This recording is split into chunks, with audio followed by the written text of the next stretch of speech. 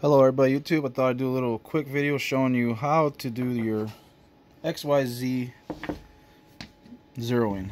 It's pretty simple. Of course, you put your probe block in the corner. You also have to set up your router bit into the collet.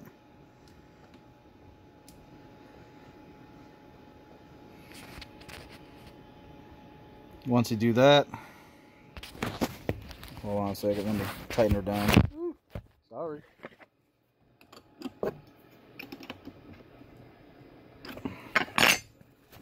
Oh, there, sorry about that. I put my stand away. So, in doing that, I always get my dust collection out of the way as much as possible. And then I go to my red setting on my controller because I don't want it to go super fast. The yellow setting is just a little too fast.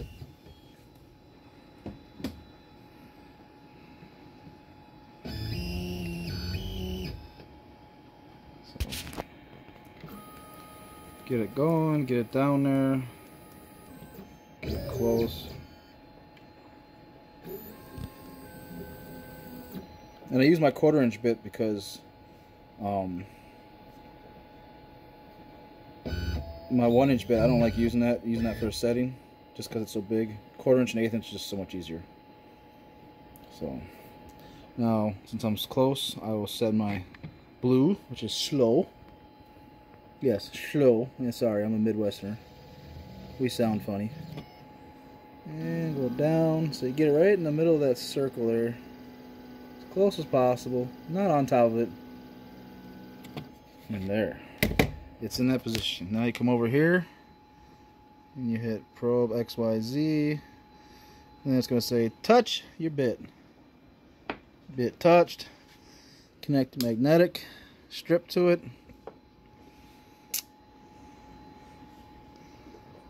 Sorry, you should connect your magnetic strip, then touch it so it grounds out. Now it says continue. So I'll hit continue. It says Diameter a bit, 6.35. That's a quarter inch in standard from metric or imperial. So yes, that's what it is. And start. And then I like to hold it still because sometimes your wood is not perfectly flat or anything else.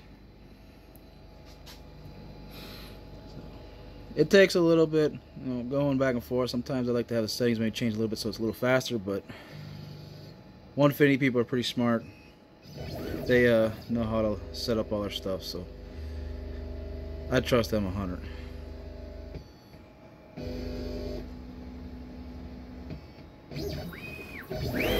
And then it hits the corner there. Pull the board out, pull the magnet off. I just set it off the side here. I don't have that fancy tray.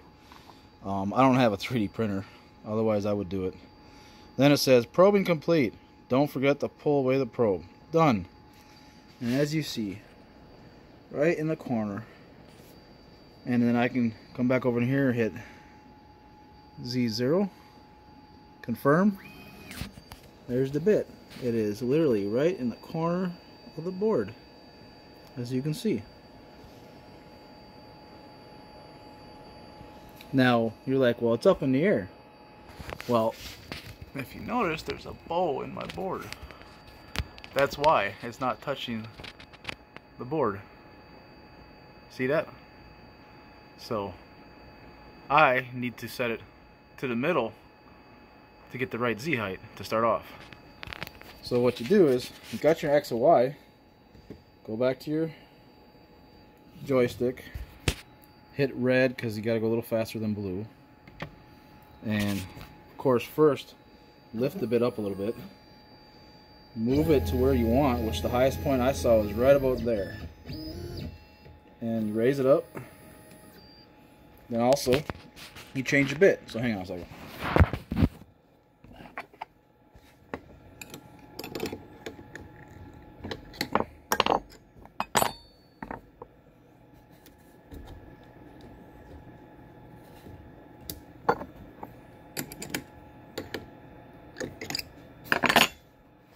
So this is the bit that I'm using, my surfacing bit. I've got my X and I got my Y. So now I can just come right here and do my Z. And it'll tell me what that highest point is on my board. So, of course, you gotta set it a little bit uh, closer to center. I like to always use and get it closer to it.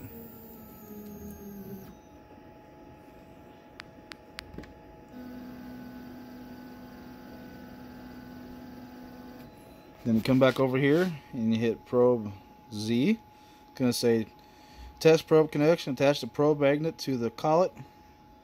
Yes. Touch the probe block to the bit. This grounds it off and says okay, we have connection. Now it says attach probe magnet to the collet, which I did already.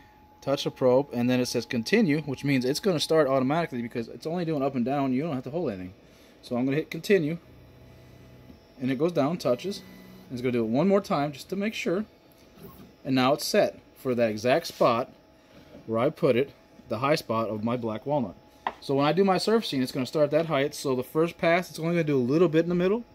And the rest of it, it's going to, you know, miss until it gets to that depth. But by doing that, you're not going to hit a pocket where you're going to be like three times as deep. If you started back in the corner here where it's really low. Now, I'll probably do this uh, code two or three times because I don't like to set it up for like a deep depth and doing long code. One, it's a shorter code, it's easy.